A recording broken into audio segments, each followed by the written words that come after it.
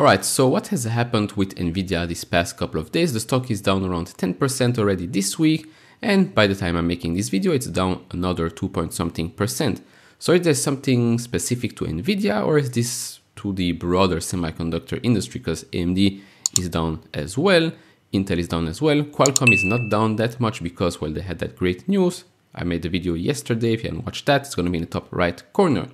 But what's happening with NVIDIA more specifically, we're going to touch on in this video. But first, a little revisit at some of the financials and well, how well NVIDIA has been performing in the last couple of years. So as you can see right here, free cash flow has been going up significantly in the last two years. We're now at close to $8 billion in free cash flow in the last 12 months. Return on equity has gone up and now we're a bit down. But again, when you have a return on equity of close to 42%, you should be very, very comfortable. Gross profit margin has been going up as well, 65.25%, and the drawdown from its peak is now officially down just over 50%. So join the club of those huge, huge companies that are down 50% from their peak. And then for total revenue, you can see that, well, back in 2017, it went up and then it went down significantly. Now remember what happened there, the first huge, huge crypto bull market and then the next crypto bear market. But after that, we've gone back up significantly. So point number one, negative point number one that might affect the stock price right now is maybe people think it might happen again. We had this huge crypto bull market that ended, well, not so long ago. So some might say that, well, their GPU sales might get affected by it because, well, miners might not be buying those GPUs anymore. So that's why sales will drop. That's exactly what happened back in 2018. Crypto market sales dropped obviously back then, as you will see in just a bit. GPU sales was obviously the gaming side of the business was very, very big and very important to the business, which is not the case today. Before we go and look at that, if you want to support this channel, do check out the link down in the description and in the pinned comment to get the top 10 best stocks to buy now or go to fool.com forward slash couch investor and make sure to check out all the other links in the pinned comment. So a quick reminder for those that didn't know. So this goes back to Q2 in fiscal year 2021. So a nice couple of quarters. So back then the gaming segment was just a little bit smaller than the data center ones.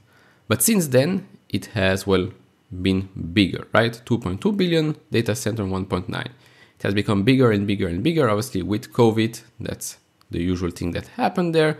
But right now, Q1 fiscal year 2023, data center has taken the lead again. And as I said in the last couple of videos about NVIDIA, I expect this trend to continue. Data center will continue to grow, and that's how the company will be less dependent on these gaming cycles, the GPU cycles, whether it's for crypto mining or whether it's for gaming, doesn't really matter because data center will just be much, much bigger. Also the other segments since then, and that's not so long ago, right?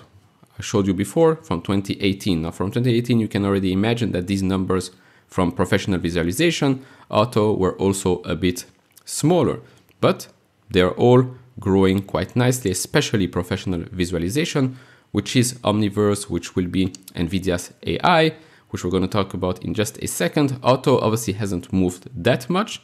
It's still a tiny, tiny portion of their business. But as you can see, the fears of having another crypto winter and it affecting the business very, very significantly, well, it's a different story today. And remember, with NVIDIA's Omniverse and NVIDIA's AI, they said in the last quarter in the earnings call that it will drive significant revenue in the future for the company. The company also expects higher software sales in the future, which will obviously increase margins. Now, there was also some news that came out with regards to TSMC to hike chip prices in 2023. So the prices will increase by 6%, slightly less than earlier rumors indicated. The earlier rumors indicated that it will be up to 9% starting in 2023.